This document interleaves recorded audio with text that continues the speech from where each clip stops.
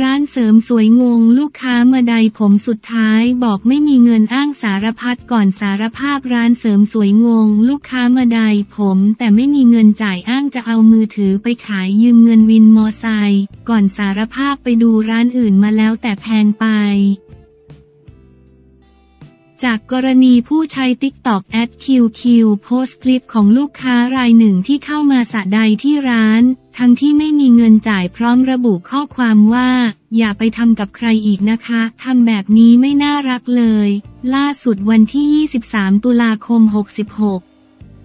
นายนัททวัฒน์สุโคตภูมี หรือคิวน้องชายเจ้าของร้านแพตตี้ซาลอนลำลูกกาคลอง 5 และเจ้าของโพสต์เปิดเผยกับข่าวสดออนไลน์ ระบุว่าเมื่อวาน วันที่ 22 ตุลาคม 66 ช่วงเวลาประมาณ 10 นาฬิกา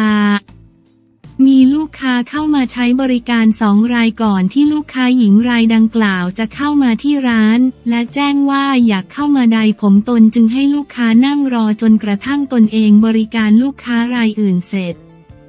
ตนเองจึงมาเชิญลูกค้าหญิงรายดังกล่าวขึ้นเก้าอี้ ระหว่างนั้นลูกค้าก็ได้ถามตนว่า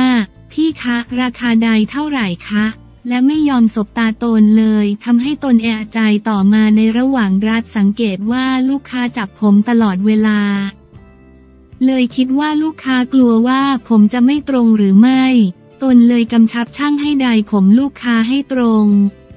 จนกระทั่งใดผมเสร็จตนก็แจ้งราคากับลูกค้าว่า 100 บาท ลูกค้ารายดังกล่าวก็ทำท่าทีหาเงิน และเดินกลับมาแจ้งที่เคาน์เตอร์ว่า พี่คะ กระเป๋าเงินหนูหล่นบนรถเพื่อน ตนเลยเสนอว่างั้นโอนจ่ายแทนได้ไหม แต่ลูกค้าก็ตอบกลับมาว่า ไม่สามารถให้ใครโอนให้ได้เลย จากนั้นก็เริ่มพูดคุยกันว่าจะเอาอย่างไรดี ซึ่งลูกค้าก็บอกว่า จะเอาโทรศัพท์ไปฝากตนเลยบอกว่า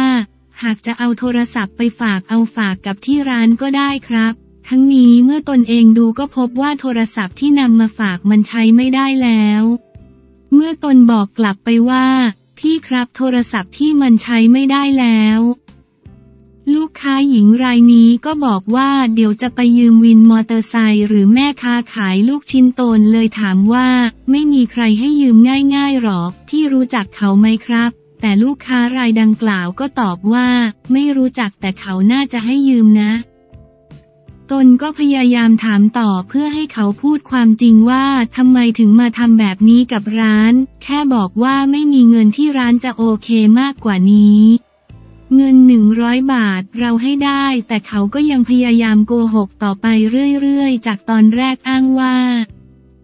ทำกระเป๋าเงินหล่นบนรถเพื่อนต่อมาบอกว่าเบิกเงินมาจากบริษัทพอถามต่อก็บอกว่าไปกู้เงินเพื่อนมาตนเลย คิดว่าหาความจริงไม่ได้แล้ว เลยขอเบอร์ติดต่อคนใกล้ตัวเขาจนสุดท้ายได้คุยกับแม่ของลูกค้ารายนี้ แต่ก็ทำใจเพราะเขาก็คงมาจ่ายแทนไม่ได้ และคิดว่าคงไม่ได้เงินคืนแล้ว แต่ก็ยังหวังว่าอยากจะได้ยินคำขอโทษจากเขา เพราะเขาตั้งใจมาโกงร้านตนเลย โดยก่อนหน้านี้ตนได้สอบถามและพบว่า ลูกค้ารายนี้เดินไปที่ร้านฝั่งตรงข้ามมาแล้วแต่ราคาอยู่ที่ 250 บาท ลูกค้ารายดังกล่าวยอมรับว่าแพงไปเลยเดินหาร้านที่ราคาต่ำกว่า 250 บาทเลยมาที่ร้านตนแต่ก็ไม่มีเงินจ่ายอยู่ดี ก่อนหน้านี้ยังไปที่ร้านเสริมสวยที่ตลาดมารวยมาแล้ว แต่ร้านปิดยอมรับว่าและสงสารเพราะลูกค้ารายนี้แต่งตัวดู แต่สัมภาระที่เขาหอบหิ้วมาด้วย คิดว่าเขาอาจจะไม่มีที่อยู่ ซึ่งตนก็อยากให้เขาพูดมาตรงๆเลยว่า ไม่มีเงินไม่ใช่มาโกหกแล้วทำแบบนี้กับคนอื่นต้องเห็นใจช่างด้วยถึงแม้เงิน 100 บาทอาจจะไม่ได้เยอะมาก แต่ก็เป็นค่าแรงของช่างอีกทั้งตนมองหน้าลูกค้ารายนี้แล้วก็พบว่าเขาเหมือนไม่ได้รู้สึกผิดเลย ตนเสียใจ ไม่อยากให้เกิดขึ้นกับร้านไหนเลย เคยเห็นแต่ในข่าวไม่คิดว่าจะมาเจอกับตัวเอง อย่างไรก็ตามอยากฝากเป็นอุทาหรณ์ให้กับร้านเสริมสวยต่างๆ ในการคัดกรองลูกค้าให้ดี แต่ก็ให้เกียรติลูกค้าไม่ตัดสินลูกค้า เพราะฉะนั้นอยากให้ทั้งสองฝ่ายเห็นใจกันและกัน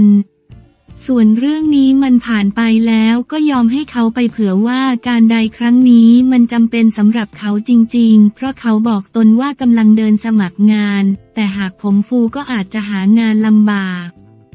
พราะเป็นตัวเองหากไม่มีเงินคงไม่กล้าเข้าร้านทำผม แต่มันคงเป็นทางเลือกของเขาแล้วที่ทำแบบนี้ ยืนยันว่าไม่มีความโกรธลูกค้ารายนี้เลย เพราะถือว่ายังเป็นลูกค้าเพียงแต่ไม่อยากให้เขาไปโกหกแบบนี้อีก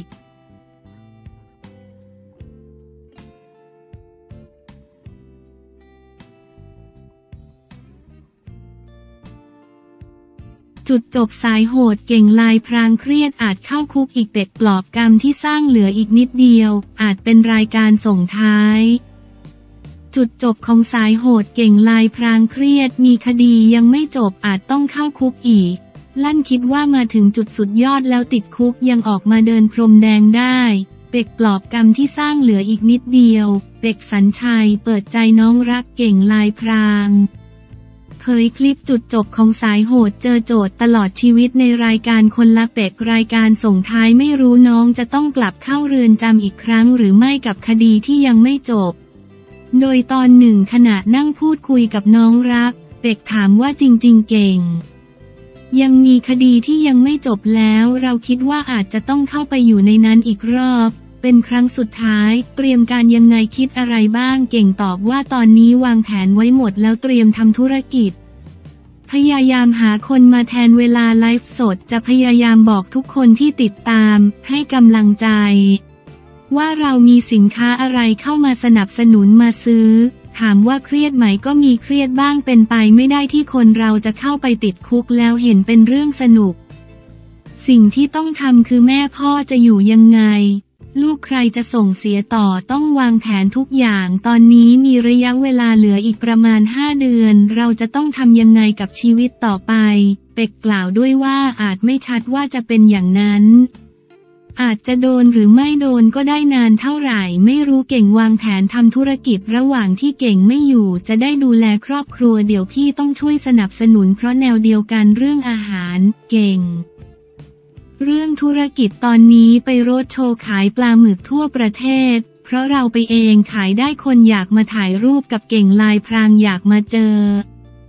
ทั้งนี้เป็กยังบอกอีกว่ารายการคนละเป็กอาจจะเป็นรายการส่งท้ายให้เก่งกลับบ้านเก่า ที่เขาเคยอยู่เวลาแป๊บเดียว เพราะกรรมที่เก่งเคยสร้างไว้เหลืออีกนิดเดียว เก่งทำผิดก็ต้องน้อมรับผิด เก่งเปิดใจเรื่องราวที่ผ่านมาตอนวัยรุ่นเราไม่รู้อะไรผิดไม่ผิด เข้ากรุงเทพมหานครมาเจอกลุ่มเพื่อนน้องๆพาไปไหนก็ไปไปปล้นก็ไปเราสนุกยังไม่รู้ความผิดคืออะไร จนวันหนึ่งที่โดนตำรวจจับหันมองไปรอบตัวเรานั่งคิดเพื่อนเพื่อน20ถึง30 คนคนที่เคยไปขี่มอเตอร์ไซค์ด้วยกัน 40ถึง50 คนก็ไม่มีใครอยู่นอกจากพ่อแม่เราที่มาหาเราที่สอนอ ประกันลูกยื่นประกันสิบสิบรอบก็ประกันไม่ได้คดีเราเหมือนคดีอุกชะกันหายช่วงวัยรุ่นไปอยู่ในเรือนจำเป็นสิบปีฝากวัยรุ่นไม่ว่าทำผิดเรื่องเล็กเรื่องใหญ่ เวลาตรงนี้เอาไปทำอะไรที่มันดีกว่า อย่างผมผิดพลาด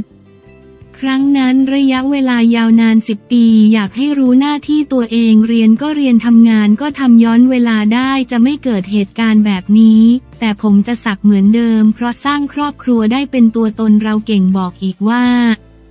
วันนี้ผมคิดว่าผมมาถึงจุดสุดยอดแล้ว ได้ไปเดินพรมแดงกรณีคนที่เคยติดคุกติดคุกมาสิบกว่าปี สักลายเต็มตัวเต็มหน้า แต่ได้มีโอกาสไปยืนพื้นที่ดาราฮอลลีวูดคิดว่ามาสุดแล้วแต่วันข้างหน้าถ้าจะไปอยู่จุดเดิม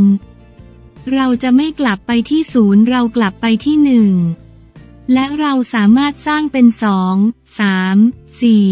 ห้าและกลับมาเป็นสิบเหมือนเดิมได้ ชมคลิปรายการ